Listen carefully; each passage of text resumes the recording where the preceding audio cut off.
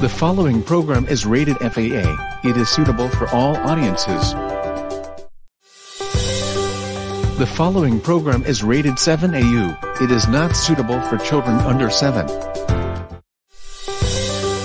The following program is rated 7AU, FV. It contains fantasy violence and is not suitable for children under 7.